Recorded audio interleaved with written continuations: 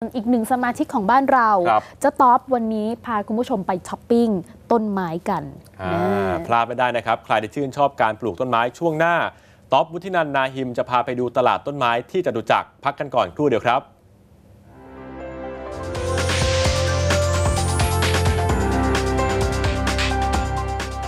วันนี้ครับท็อปพาคุณผู้ชมครับลงพื้นที่มาอยู่ที่ตลาดนัดสวนจตุจักร ถ้าพูดถึงตลาดนัดสวนจตุจักรแล้วหลายคนคงเชื่อนะครับว่ายังพอมีสินค้ามากมายหลายอย่าง แต่ว่าวันนี้เป็นวันธรรมดาใช่ไหมครับ วันนี้วันพุธครับ สิ่งที่ขึ้นชื่อของตลาดนัดสวนจตุจักรนั่นคือเรื่องของการรวมกลุ่มก้อน โดยเฉพาะพันไม้ต้นไม้ดอกไม้ประดับ ไม้สวยงามต่างๆ นานาพันธุ์นะครับที่รวมเอาไว้ถือว่าเป็นจุดศูนย์รวมจากชาวสวน ขายส่งและขายปลีกแห่งใหญ่ที่สุดในเมืองไทยเลยก็ว่าได้นะครับ แต่สิ่งที่คุณผู้ชมเห็นอยู่ด้านหลังผมนี้แหละครับ คือบรรดาพันไม้สวน แล้วก็บรรยากาศยามเช้าๆ ตอน 7 โมงกว่าๆนี่แหละครับในบรรยากาศในตลาดนัดสวนจตุจักรนี่นะครับ ทั้งนี่ฮะดอกไม้อย่างพังพวยสวยงามมากเลยทีเดียวนะครับ ออกมาชูช่อรอลูกค้าที่จะมาซื้อนะครับต้นไม้เหล่านี้ถือว่าเป็นสินค้าฟุ่มเฟือยนะครับ ตามภาวะเศรษฐกิจผมลงพื้นที่ถามมาตั้งแต่ ช่วงประมาณสักตีสี่ตีห้าเนี่ยนะครับเป็นช่วงเวลาที่พ่อค้าแม่ค้าเขานำต้นไม้นานาชนิดเนี่ยนะครับ มาลงเอาไว้ คุณผู้ชมคงเห็นบรรยากาศในยามค่ำคืนที่ผ่านมานะครับ ว่าจะเห็นว่าทั้งมีการเอาของขึ้นเอาของลงกันนะครับ แต่ว่าสิ่งที่จะคึกคักมากที่สุดเลยคือตลอดทั้งสัปดาห์เนี่ยจะเป็นวันอังคาร ตั้งแต่เวลาบ่าย3โมงเย็นเป็นต้นไปครับ ทางจตุจักรเขาจะเปิด ให้เหล่าพ่อค้าแม่ค้าเนี่ยนะครับนำต้นไม้จากสวนนะครับ ทั้งที่เชียงใหม่ที่กระบี่ที่ระยองที่นนทบุรีอย่างพื้นที่ขบางกรวยเนี่ยถือว่ามีพื้นที่ค่อนข้างเยอะเลยทีเดียวนะครับเอามาลงตั้งแต่วันอังคารตอนบ่ายสามเพราะฉะนั้นช่วงเย็นของวันอังคารเมื่อวานนี้นะครับ ก็เลยได้เห็นความคึกคักกันต่อ แล้วก็จะเห็นว่าไม้ดอกไม้ประดับหน้าตาดีมีให้เลือกซื้ออย่างราคาถูกมากเลยทีเดียวนะครับ แต่ตอนนี้เช้าวันพุธครับ บรรยากาศก็อย่างที่เห็นนะฮะ ช่วงเช้าก็ยังมีสินค้าลอยทยอยลงมาเรื่อยๆนะครับ อย่างที่เห็นนี่ต้นไม้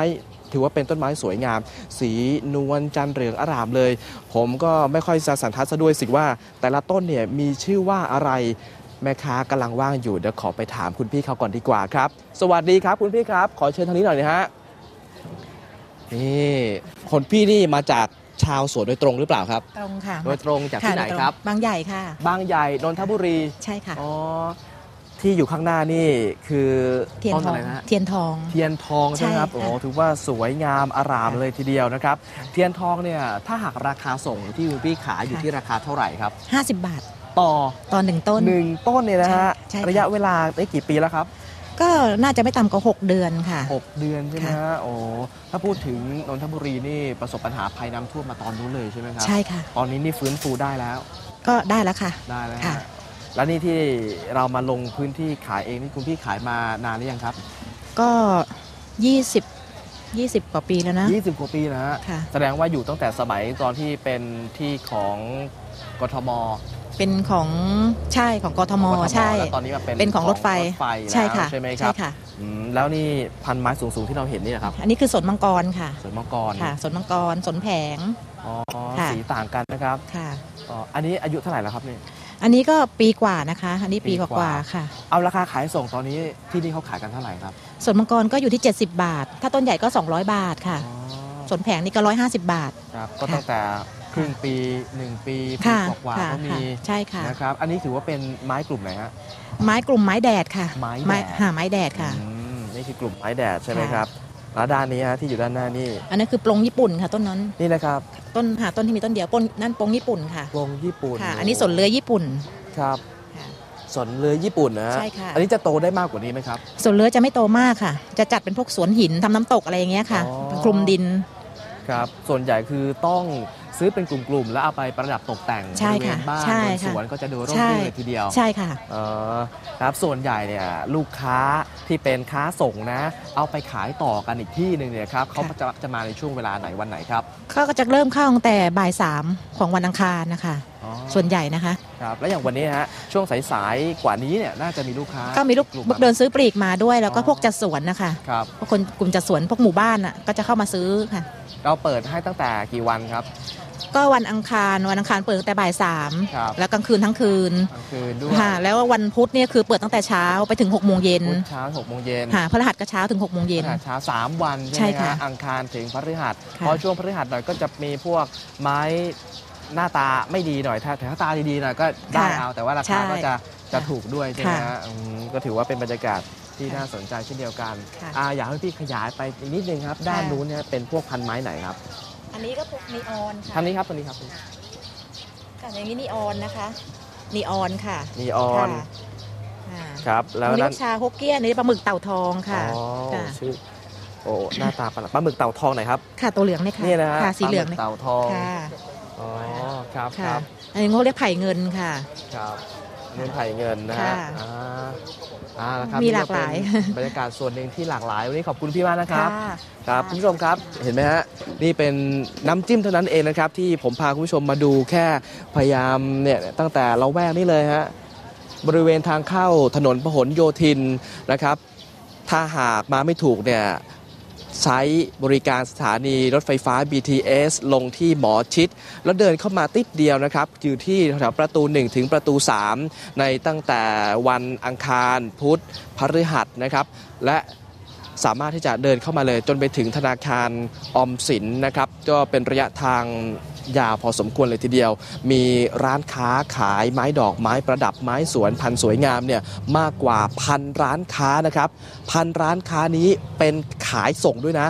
มาตรงๆกับชาวสวนด้วย เพราะฉะนั้นนะครับไม่ต้องห่วงเรื่องของราคาเลย ราคานี่ถือว่าได้ราคาที่ค่อนข้างดี แล้วได้ไม้คุณภาพ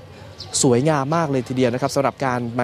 ใช้ประดับตกแต่งออฟฟิศหรือว่าสถานที่ภายในนะครับ นี่ครับคุณผู้ชมครับ ผมเดินไปก็ได้กลิ่นนะฮะได้กลิ่นบรรยากาศของดอกไม้อย่างอะไรนะ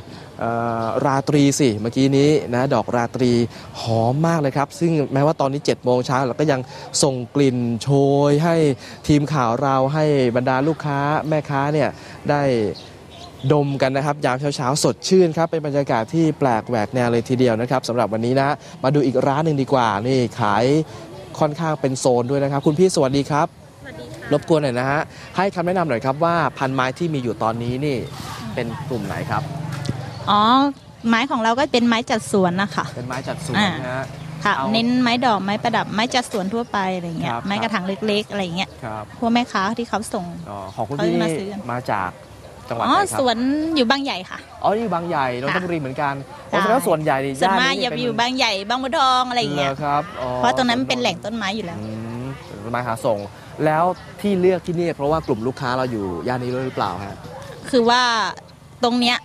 เป็นจุดศูนย์รวมไหมคะครับเป็นจุดศูนย์คือว่าเรามีแผงค้าของเราอยู่ตรงนี้อยู่แล้ว ครับเราก็ไม่ต้องเสียค่าเช่าอะไรมากอะไรเงี้ย อ๋อ แล้วครับมาตรงนี้ลูกค้าทั่วไปทุกที่จะมาที่นี่หมดอะไรเงี้ย ครับ ต่างจังหวัดที่อะไรที่ไม่มาตรงนี้หมด อืม เอาละครับ ขอบคุณครับพี่ครับนะเดี๋ยวมาสำรวจกันใหม่นะ หลังจบรายการนะฮะคุณผู้ชมครับนี่ก็เป็นบรรยากาศครับนี่ต้นไม้นานาพันธุ์ชนิดบอนไซก็มีครับ รวมทั้งให้คุณผู้ชมเห็นด้านนู้นก่อนนะฮะนู่นนู่นนู่นเนี่ย มีร้านค้าด้วยฮะร้านค้าร้านก๋วยเตี๋ยวนะครับ ท่านไหนที่หิวข้าวตอนเช้าๆอยากจะมาเดินยามสายๆแดดไม่ร้อนครับเดินมาได้ แต่แนะนำว่าท่านไหนที่มาเนี่ยนะครับ อยากให้อ่อใช้สวมใส่เสื้อผ้าหรือว่าหาเลือกเสื้อผ้าที่ค่อนข้างสบายๆเวลาเดิน เพราะว่า ควรเตรียมหมวกหรือร่มกันแดดมาด้วยนะครับ เพราะว่าอาจเจอกับพวกฝนบ้างนะครับ หรือแดดค่อนข้างร้อนในตอนบ่ายๆเลยทีเดียวนะครับนี่ฮะก็เป็นบรรยากาศที่เราจะเห็นนะครับว่ามีแม่ค้าพ่อค้าก็จะสารวนอยู่กับร้านของตัวเองเนี่ยนะครับ นี่คือบรรยากาศล่าสุดที่ให้คุณผู้ชมได้เห็นนะครับ แต่ที่แน่ๆครับ สิ่งนี้นะครับเป็นสิ่งที่ทำให้เศรษฐกิจนั้นมีความคึกคักมากเลยทีเดียว เพราะว่าเป็นอารมณ์ของบรรดาผู้หญิงผู้ชายนะที่ชอบมาเดินยามเช้าๆกันตามตลาดนัดสวนจตุจักรแห่งนี้นะครับช่วงนี้คือบรรยากาศล่าสุดจากที่ตลาดนัดสวนต้นไม้นั่นเองนะครับช่วงนี้พักกันก่อนสักครู่เดียว ช่วงหน้าตอมแมลงวันต่อครับ